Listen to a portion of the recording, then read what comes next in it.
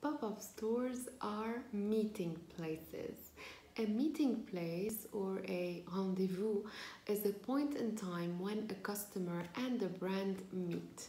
During this meeting, customer and brand become at the same level. They talk, they exchange, they share information, they are sharing ideas, and they get to express thoughts and ideas together.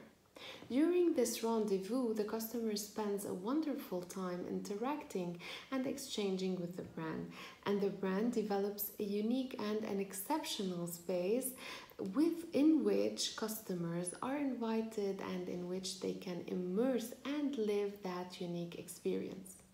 More in half a minute soon.